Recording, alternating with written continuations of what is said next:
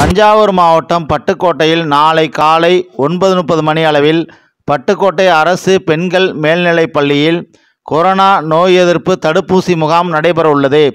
இம்முகாமில் ரெண்டாயிரத்திற்கும் மேற்பட்டவர்களுக்கு தடுப்பூசி செலுத்துவதற்கான ஏற்பாடுகள் செய்யப்பட்டுள்ளது.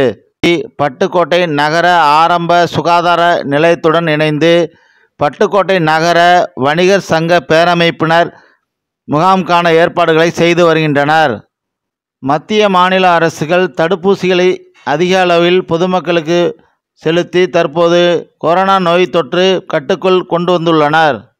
இதுநாள் வரை தடுப்பூசி போடாதவர்கள் இம்முகாமை பயன்படுத்தி தடுப்பூசி போட்டுக்கொள்ள வேண்டுகிறோம். இந்த முகாமுக்கான ஏற்பாடுகளை சிறப்பாக செய்து வருகின்ற பட்டுக்கோட்டை நகர வணிகர் சங்க பேரமைப்பினரை பொதுமக்கள் வெகுவாக பாராட்டி வருகின்றனர். ஸ்ரீ ராமராஜ்யம் யூடியூப் செய்தி சேனலுக்காக ஆதி மதனகோபால் பட்டுக்கோட்டையிலிருந்து